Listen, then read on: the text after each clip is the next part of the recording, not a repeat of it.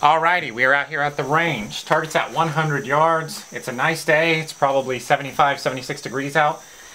Slight breeze off the left, but it's really a nice day. Um, this is my 25 inch 6.5 by 47 Lapua and my uh, Seekins Havak hit um, that I chambered. 1 and 8 twist, and we're shooting a 135 A-tip from Hornady.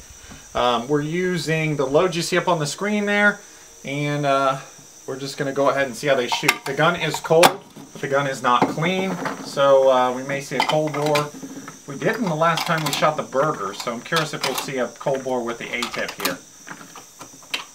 Um, kind of making up load data again because we are shooting the uh, the Varget and there's not a whole lot of really good data. LabRadar is out and we'll just go ahead and we'll see how they group. 35.5 grains here. Should be about 2,700 feet per second on this first load. 2661, so a little slower than what I thought. Um, this load shot 26, or sorry, 2715 with uh, 130. So I guess the 5 grain heavier projectile. Dropped our velocity just a little bit. That's fine.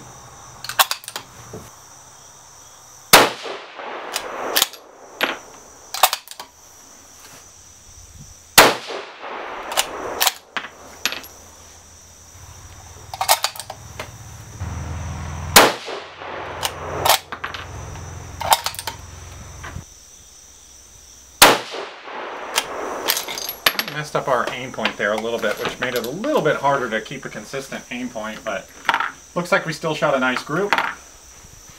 Just take a quick look at our brass. Um, the brass actually looks fine. We'll see what our velocity was there.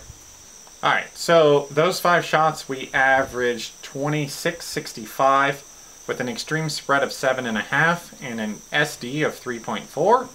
So good looking data there. And we'll go up to 36.5 grains, which is obviously a grain higher than what we just shot. The barrel is obviously warmed up now, and we'll see how these shoot. Hopefully they shoot like that first load with a little bit more velocity.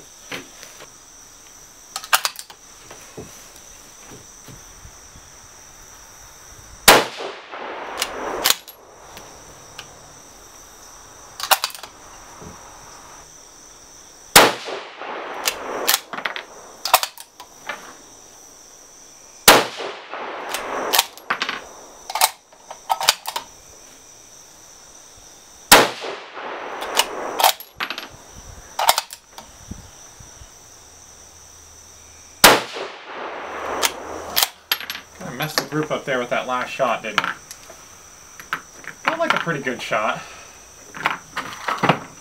Still a good looking group. Brass still looks fine. Take a look at velocity. Alright, so those five we had 2720 average with a 14 extreme spread and a 5.4 SD. So still good numbers. The group still looks pretty good.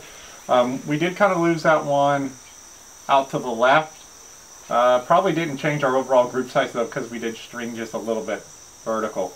So obviously you see a group sizes and the velocity on the screen there. So looks like the A-tips are going to do pretty good and we did get up over 2,700 feet per second with these charges. So hope you guys enjoyed this video. Um, I should be out at Rayners here soon. Don't know if I'm going to make a video of it or not, but we'll see you after that. Thanks for watching.